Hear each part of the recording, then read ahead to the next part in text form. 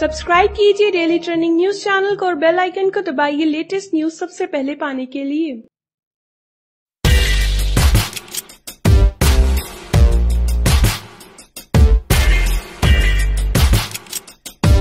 वरुण धवन सुजीत सरकार की फ़िल्म अक्टूबर में नज़र आने वाले हैं।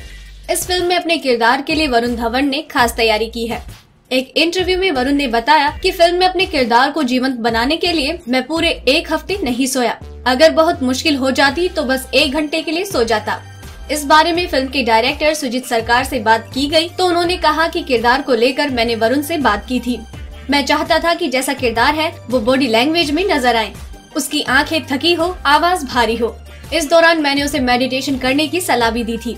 आने वाली फ़िल्म अक्टूबर के बारे में बात करते हुए वरुण ने कहा कि फ़िल्म का शूट खत्म करने के बाद मैंने ये अनुभव किया कि इस मूवी पर मुझ पर खास असर हुआ है। मेरा ज़िंदगी देखने का नज़रिया बदल चुका है। पिछले दिनों उन्होंने अपना लुक सोशल मीडिया पर शेयर किया था। हाल ही में वरुण धवन की फ़िल्म सुई धागा उनके हार्ड वर्क की वजह से चर्चा में बनी हुई है। इसके एक सीन में वरुण को साइकिल चलानी थी, जिसके लिए गर्मी में वरुण और अनुष्का को 10 घंटे से भी ज़्यादा समय तक साइकिल चलानी पड़ी। फ़िल्म को शरद कटारिया डायरेक्ट कर रहे हैं। अगर आपको हमारी ये स्टोरी पसंद आई तो इसे लाइक करें और अपने व्यूज़ हमें कमेंट करके ज़रूर बताएँ। डेली ट्रेंडिंग न्यूज़ की रिपोर्ट सब्सक्राइब करें हमारा चैनल ऐसे ही लेटेस्ट और इंटरेस्टिंग न्यूज़ के लिए।